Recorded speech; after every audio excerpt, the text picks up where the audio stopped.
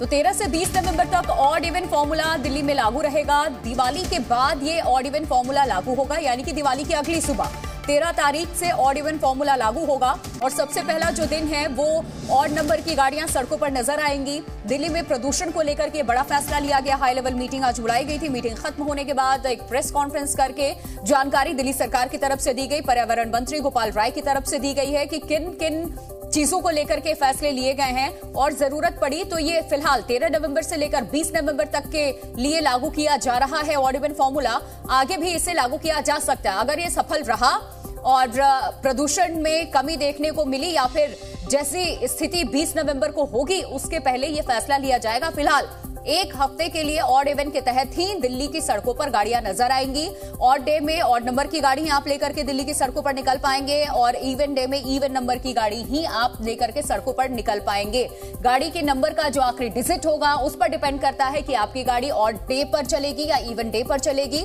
ये बड़ी खबर इस वक्त, तेरह से बीस नवंबर तक ऑड इवन फॉर्मूला दिल्ली में लागू। ये बड़ी खबर है, इससे पहले भी एक बार ऐसा फैसला लिया जा चुका है और उसको इंप्लीमेंट भी किया गया था।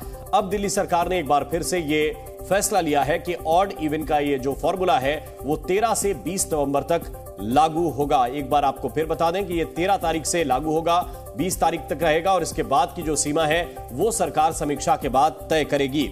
बलराम पांडे, ज़्यादा जानकारी के साथ इस वक्त हमारे साथ जुड़े हुए हैं। बलराम, ऑड इवन लागू होगा। इसके अलावा और क्या क्या निर्णय हैं? बिल्कुल देखिए, दिल्ली सरकार के मुख्यमंत्री अरविंद केजरीवाल ने आज एक हाई लेवल बैठक की और इस बैठक में आगामी दिनों को लेकर के चर्चा की गई कि किस तरीके के हालात दिल्ली में रह सकते हैं और जिस तरीके के हालात इस वक्त बने हुए हैं दिल्ली में, उसको लेकर के भी कई अहम निर्णय लिए गए। लेकिन सबसे बड़ा जो निर्णय दिल्ली सरकार का रहा है, वो यही है कि दीपावली के दूसरे दिन, यानी तेरह नवंबर से बीस नवंबर तक दिल्ली के अंदर ऑड इवन फार्मूला लागू होगा।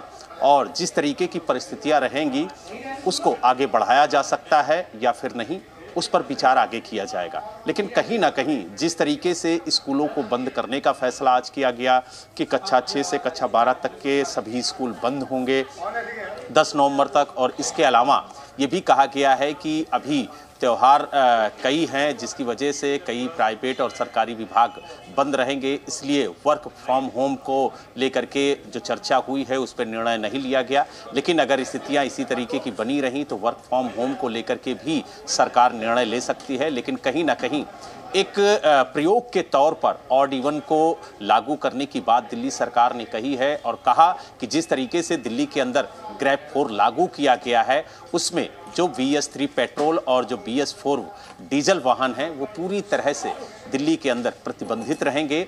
और ये भी कहा गया है अधिकारियों से कि जो ग्रैप फोर है, उसको सख्ती के साथ दिल्ली के अंदर लागू कराया जाए और जो निर्माण कार्य हैं, दिल्ली के अंदर अब पूरी तरह से बंद रहेंगे। यानी दिल्ली सरकार ने फैसला लिया है कि चाहे वो सरकारी निर्माण कार्य हो, चाहे प्राइवेट, सभी बंद रहेंगे क्योंकि ग्रैफ फोर लागू हुआ है और जिस तरीके से दिल्ली का पोल्यूशन देखने को मिल रहा है, जिस तरीके से स्थितियाँ खराब हो रही हैं, उसको कंट्रोल करने के लिए कहीं ना कहीं अब नियमों को सख्ती के साथ लागू कराया जाएगा। हालाँकि ये भी कहा गया कि जो एंटी स्मोक गन हैं, उनकी संख्या बढ़ाई गई है और साथ ही जो पानी का छिड़काव है, उसको भी बढ़ाया गया है और पूरी दिल्ली में अब पानी का छिड़काव किया जाएगा पेड़ों की धुलाई होगी सड़कों पर पानी का छिड़काव होगा और जहाँ पर डस्ट ज़्यादा है सड़कों के किनारे आपने देखा होगा कई जगहों पर मिट्टी आपको नज़र आएगी कई जगह आपको धूल नज़र आएगी तो वहाँ पर लगातार पानी का छिड़काव किया जाएगा और यही वजह है कि एमसीडी को भी सख्त निर्देश दिए गए हैं कि जहाँ पर डस्ट है जहाँ पर डस्ट वाला इलाका है वहाँ पर पानी के छिड़काव की गति जो है वो तेज की जाए और ज़्यादा से ज़्यादा पानी डेट भी बताई गई है क्या बलराम कि कब तक ये कंस्ट्रक्शन वर्क दिल्ली में बंद रहेगा? इसके अलावा स्कूल को लेकर के भी जो खबरें सामने आ रही, दस नवंबर के बाद क्या ये खुलेंगे? ऑनलाइन क्लासेस ही होंगे। देखिए, दिल्ली सरकार ने साफ़ तौर से कहा है कि आगे जिस तरीके के हालात रहेंगे, उसको देखते हुए आगे निर्णय लिया जाएगा, लेकिन अभी फ़िलहाल जो निर्माण कार्य हैं, उस पर पूरी तरह से प्रतिबंध लगाया गया है। और ये भी कहा गया है कि 10 नवंबर तक प्राइमरी स्कूल और कक्षा 12 तक सभी स्कूल बंद रहेंगे। पहले ही प्राइमरी स्कूल को बंद करने का ऐलान कर दिया गया था, लेकिन अब निर्णय लिया गया है कि कक्षा छः से कक्षा बारह तक के भी स्कूल पूरी तरह से बंद रहेंगे। ऑनलाइन क्लासेस चलेंगी, जिनके एग्ज़ाम हैं, उन्हें छूट दी जाएगी। लेकिन कहीं ना कहीं पूरी कोशिश यही है इस बैठक के ज़रिए कि दिल्ली में जो पोल्यूशन का स्तर है, उसे कम किया जाए और साथ ही जो डीजल वाहन अभी तक दिल्ली के अंदर आ रहे थे, उन पर पूरी तरह से प्रतिबंध लगाया जाएगा और खास तौर से दिल्ली सरकार की ये कोशिश होगी कि जो भारी वाहन हैं या फिर जो बसें हैं, वो सिर्फ़ सीएनजी या इलेक्ट्रिक के अलावा जो बी एस सिक्स हैं, उन्हीं को प्रवेश दिया जाए, बाकी उन पर रोक लगाई जाए। ये कोशिश है और इसके लिए जो टीमें हैं, उनको बढ़ाया गया है। और कहा जा रहा है कि ये टीमें निगरानी करेंगी मॉनिटरिंग के दौरान। अगर कोई वाहन इस तरीके का पाया जाएगा तो उसके खिलाफ ये कार्रवाई भी करेंगी। हालाँकि अब ये भी निर्देश दिए गए हैं कि 24 घंटे ये टीमें सड़क पर रहें और शिफ्ट वाइज ये काम करें।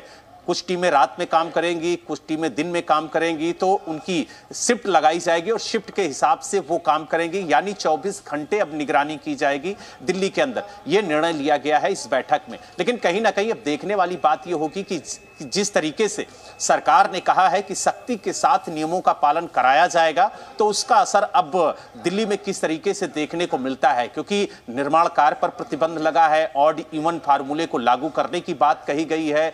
कक्षा बारह तक के जो सभी स्कूल हैं, उन्हें बंद कर दिया गया है 10 नवंबर तक।